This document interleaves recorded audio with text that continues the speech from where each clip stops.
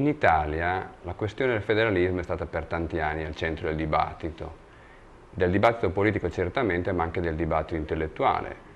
Si è pensato a lungo che un paese così variegato proprio interno dal punto di vista economico e culturale come il nostro avesse bisogno di una soluzione federale che un pochino riprendesse la forma degli Stati Uniti o della Svizzera. Quindi questa idea di una riforma federale ha avuto un prestigio e un'attrazione forte per molti anni. Oggi le cose sembrano cambiate in maniera radicale. Oggi di federalismo si parla molto meno, con molto meno interesse e anzi è crescente un atteggiamento negativo nei riguardi delle istituzioni locali, nei riguardi dei comuni, delle regioni. L'idea è che in definitiva una delle difficoltà dell'Italia sia appunto la presenza di tanti centri di spesa, e che la spesa locale, la spesa regionale, la spesa comunale siano appunto sicuramente complici della situazione.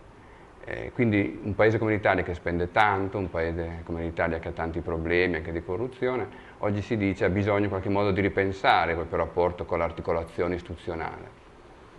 Questo è vero, ma non credo. Credo che in realtà in questi anni si sia avuta un'idea molto sbagliata del federalismo e sono state fatte delle riforme sicuramente a favore delle regioni e degli enti locali, ma in definitiva i cambiamenti introdotti hanno dato una certa autonomia di spesa a, agli enti periferici, senza però dire, eh, dare capacità di prelievo fiscale, senza mettere in relazione quindi le uscite e le entrate. In questa maniera eh, abbiamo avuto dire, e abbiamo enti locali, regioni e comuni in particolare, che sono fatalmente orientate a spendere e non già invece a eh, controllare in maniera razionale quello che viene fatto, a gestire in maniera attenta le proprie risorse.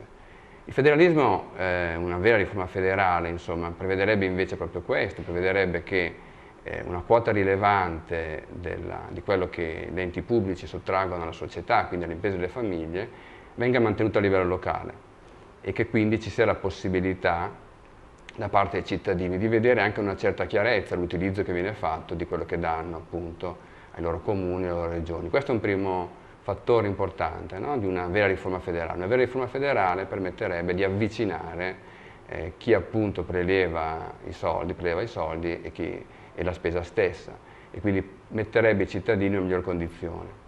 Ma c'è un altro elemento che non viene spesso evidenziato che invece è, a mio parere, ancora più importante in un sistema federale, cioè un sistema autenticamente federale in cui gli enti locali vivono di risorse proprie e quindi non solo spendono ma anche tassano propri, le proprie popolazioni, quello che ne deriva in maniera molto lineare, molto naturale, è una concorrenza tra istituzioni. In definitiva noi sappiamo che sul mercato abbiamo la produzione di buoni beni o servizi a un prezzo relativamente contenuto perché c'è concorrenza perché chi eh, pretende di vendere a un prezzo alto, qualità scarsa, viene un po' messo fuori dal mercato. In un certo senso l'ordine federale va in questa direzione. I vari comuni, le varie regioni sono costrette a competere fra di loro in un vero ordine federale. Eh, la regione Lombardia, se vivesse di proprie risorse, dovrebbe competere con quella piemontese e quindi in Piemonte ci sarebbe una forte attenzione a tassare di meno e offrire servizi di buona qualità.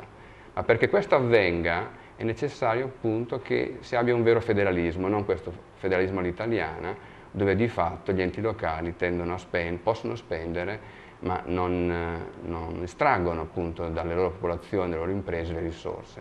Quindi in sostanza a me sembra che si possa dire questo. Noi oggi abbiamo avuto un dibattito molto falsato sul federalismo, perché non abbiamo mai ben capito quali erano le vere virtù del federalismo e cosa si debba intendere per federalismo. Abbiamo pensato che semplicemente attribuire più poteri, più risorse, più capacità di spesa agli enti locali sia andare verso una struttura federale, ma non è così. Un vero federalismo implica l'autonomia autentica a partire dalla capacità di estrarre da sé le proprie risorse e di conseguenza quindi implica anche una concorrenza.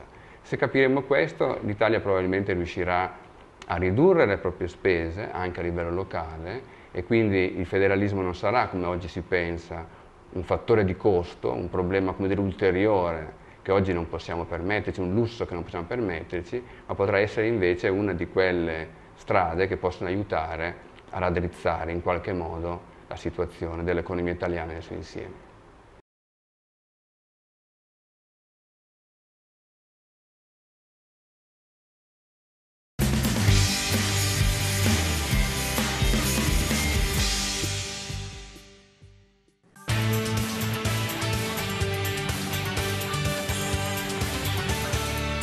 Rete Economy, la nuova visione dell'economia.